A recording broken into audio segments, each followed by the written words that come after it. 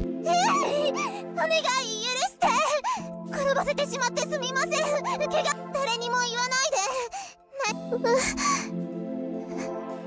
いや Are you playing those video games again?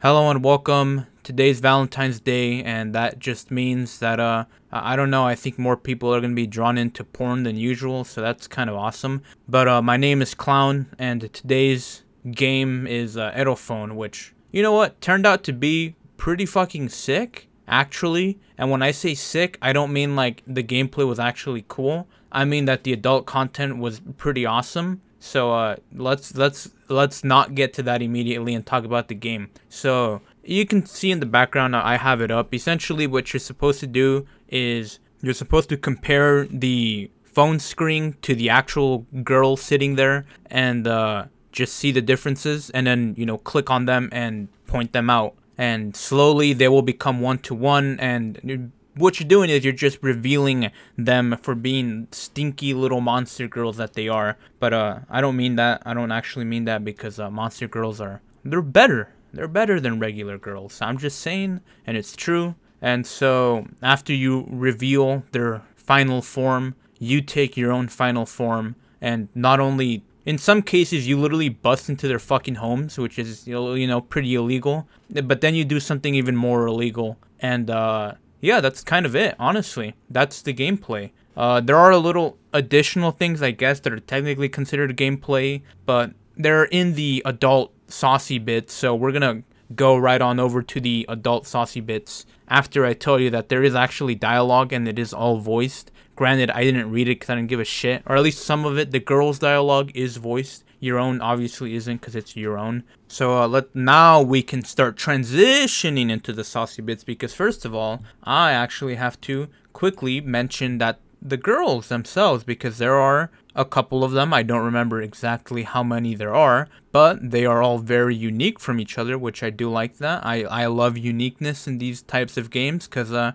it just means that there's more for everyone, or at least something for everyone. And uh, they're also really fucking good. Like I actually really like how the girls look. You know, you got you got a lot. You got your typical Twitch streamer. You got a fake ass rat girl. You know, you got a big titty senpai, and then you've also got a fucking robot girl who clearly doesn't like you. And then you know you got a fox girl that actually really looks like Fubuki. Actually, no, maybe. I, I don't know, a little bit actually. And then uh, you know, a ghost girl with massive titties a MILF with massive titties. I, I do actually like them. They're really good. I don't know if I've said it multiple times. I'm not the biggest fan of massive titties, but you can make them work, and this game makes them work. I like them. And then lastly, you have the pure girl, which, you know, just means that the degeneracy on that scene goes like up the fucking wazoo. And uh, they look really good. The Live2D for even just the normal parts where you're not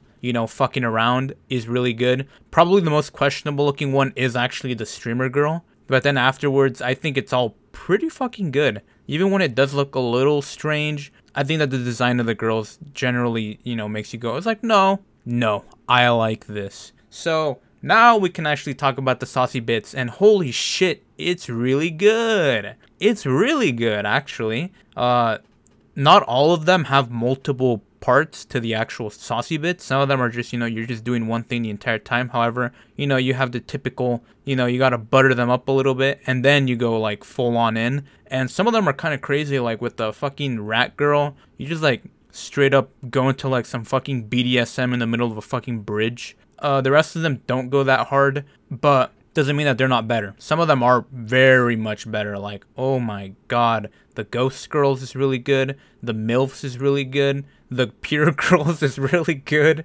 Jesus Christ, it's all really good. It is like, it's good. I like this shit. This was a good one. This is the good kind of shit I hope to see in the future. Granted, at the same time, I should also, you know, pick up some games with actual gameplay that incorporate the H content well. And I guess I should also talk about this a little bit. There are, there, you know, there is interactivity. It is interactive when you're actually, you know, in these scenes. You know, you gotta sometimes move the dong in and out or you literally move the girls up and down, which is really awesome. And there's a free mode that you can use. Granted, you have to unlock it, but the free mode has, you know, the typical stuff of free modes where you can move freely through the scene. You can have them do specific things, and uh, it just lets you essentially relive the experience if you want to go back and, uh, you know, crank one out. Surprisingly, I actually never do that with these games. You might think I actually do, but I almost never revisit a game ever. I finish the game, make a video, and if I didn't if I didn't crank one out after I finished playing it by just going to the free mode, I never did. With this one, I'm not going to go into specifics. However, that's all I have for today. Hope you guys enjoyed this video, and I'll see you guys on the next one.